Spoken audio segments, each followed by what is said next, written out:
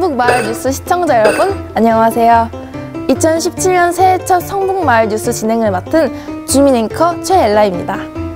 2017년 정유년 새해를 시작한 지 엊그제 같은데 어느새 1월이 다 가고 있습니다. 올해 세운 목표와 계획들 잘 실천하고 계신가요? 우리의 뇌는 갑작스러운 변화를 생존에 대한 위협으로 받아들이기 때문에 거창한 목표보다는 점진적이고 작은 변화에서 시작하는 것이 목표를 이룰 가능성을 높이는 주요한 방법이라고 합니다. 올해는 거창하고 큰 목표보다 작지만 꾸준히 할 수 있는 소소한 일들부터 하나하나 시작해보는 것이 어떨까요? 올해 저희 성북 마을 뉴스도 꾸준함과 성실함으로 여러분을 찾아뵐 것을 약속드리며 정유년 새해 첫 성북 마을 뉴스 지금 시작합니다.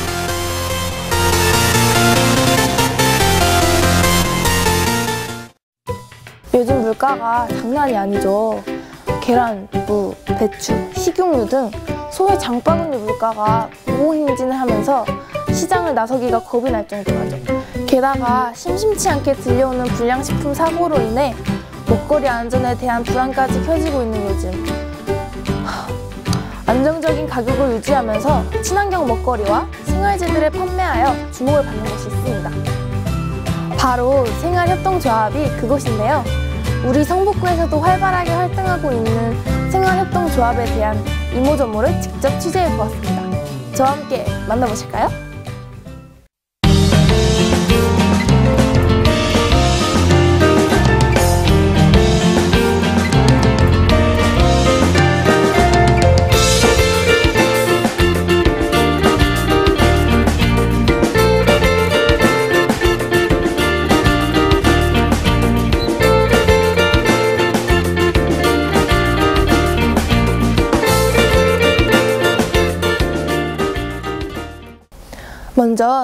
생활협동조합이란 곳은 어떤 곳일까요?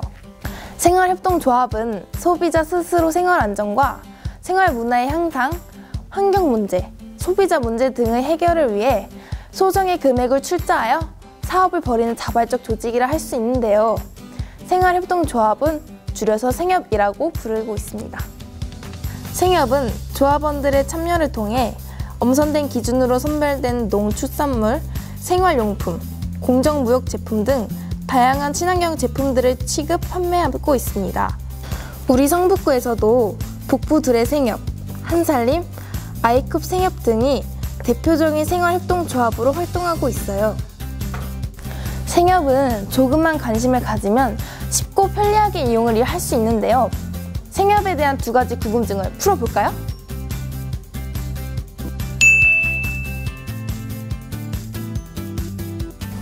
먼저 생협의 물건들은 비쌀 것이다. 이런 생각인데요. 일반적으로 생협의 물품들은 친환경 물품만을 취급해서 가격이 비쌀 것이다 라는 생각이 참 많아요. 이 사장님, 과연 그런가요? 실제로 이제 저희 생협 같은 경우에는 뭐 계획 생산, 뭐 계획 소비를 기본 가치로 가지고 있기 때문에 시중 가격 변동과 상관없이 저희 가격을 유지하려고 노력합니다. 기본적인 어, 쌀, 주곡이나 혹은 뭐 생활에 아주 자주 등장하는 뭐 콩나물이나 두부 이런 거 같은 경우에는 일반 시중의 같은 품질의 제품보다 훨씬 더 낮은 가격을 유지하고 있습니다. 일반 친환경 매장하고 가격 차이가 거의 뭐 30에서 50% 정도 차이가 나니까 뭐 그거는 소비자분들이 직접 방문하면 알 수 있는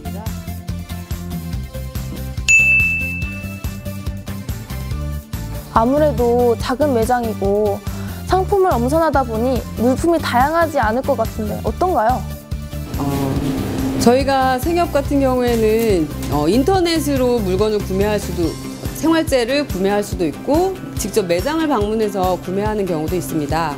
매장 방문 조합원 같은 경우에는 매장의 크기에 따라서 볼 수 있는 생활재들이 좀 한정돼 있어서 그렇긴 한데 인터넷으로 주문하시는 조합원들 같은 경우에는 다양한 1,500가지 이상의 생활재를 직접 본인들이 검색해서 보실 수가 있어요. 아, 그렇군요. 이제 궁금증이 다 풀리셨나요? 생협에 대한 보다 많은 궁금증은 옆에 연락처로 문의해보세요. 자, 그럼 명절을 앞둔 1월에 북부 둘의 생협에서 강력히 추천하는 생활지 베스트 5는 무엇인지 한번 알아볼까요? 어? 어디서 되게 고소한 냄새 나는 것 같지 않나요? 아, 바로 이 참기름이었네요. 북부 둘의 생협에서 강력히 추천하는 1월의 생활지 베스트 5 첫 번째는 바로 이 바라 참기름입니다. 이 참기름을 추천하시는 이유 직접 한번 들어볼까요? 네. 이 참기름은 안전하게 친환경적으로 농사 지은 깨로 이렇게 많이 볶지 않고 짠. 많이 볶으면 찌꺼기가 많이 남아요. 참기름에 네. 참기름에 찌꺼기가 많이 남고 고소한 향은 강한데 많이 태울수록 벤조피렌이라는 발암 물질이 생깁니다. 그래서 그건 저희들 몸에 너무 안 좋겠죠? 저희들 몸 보시면 병 아래에 찌꺼기가 하나도 없어요. 설 연휴에 참기름 많이 쓰시죠? 생협의 참기름을 이용하면 보다 안전하고 건강한 설 연휴가 되겠네요. 어, 냄새 난다. 맛있겠다. 치키치키 차카차카 초코초코초 치키치키 차카차카 초코초코초 북부들의 생협에서 강추하는 1월의 생활제 베스트 5. 두 번째는 바로 물 맑은 치약입니다. 거품을 내기 위해 몸에 안 좋은 합성 계면 활성제를 많이 사용하는 시중 치약과는 달리 물맑은 치약은 합성 계면 활성제를 전혀 사용하지 않은 건강한 치약이라고 하는데요. 양치를 하고 신 것을 먹어도 이상한 맛이 나지 않는 물맑은 치약. 거품이 안 난다고 양치가 안 되는 게 아니 아니 아니랍니다. 도라지 도라지 백도라지 북부들의 생협에서 강추하는 1월의 생활제 베스트 5. 세 번째는 도라지 절편입니다. 요즘같이 추운 겨울에 기침 예방에 아주 좋은데요. 무농약 도라지를 유기농 설탕에 꿀에 절여 남녀노소 먹기도 좋고 효과도 그만이라고 하는데요. 올겨울 건강을 생각하시는 분에게 건강 간식으로 도라지 절편이 아주 딱을 것 같네요. 아 배고파.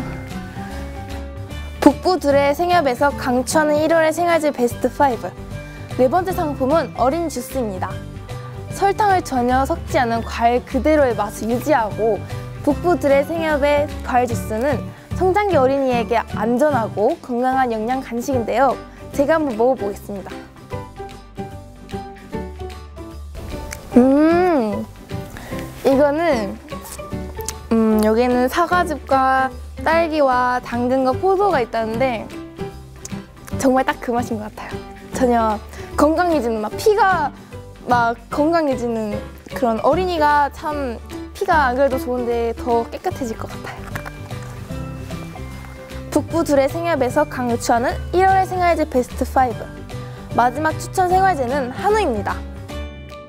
어, 동물 복지 차원에서 거세를 하지 않았고요. 일단 그리고 음, 풀을 많이 먹이고 그렇기 때문에 기름기가 없어서 마블링은 없습니다. 사실 약간 질긴 듯한 느낌도 있는데 며칠 숙성해서 이렇게 드시면 훨씬 더 좋은 맛있는 고기로 드실 수 있어요.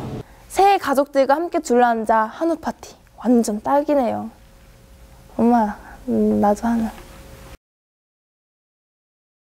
2017년 처음으로 전해드린 성북 마을 뉴스 저희가 준비한 소식은 여기까지입니다. 예년과는 달리 조금은 다른 형식으로 진행을 해보았는데 재미있게 보셨나요? 이번 주 성북 마을 뉴스는 여기서 마무리하겠습니다. 다음 주에 봬요. 안녕!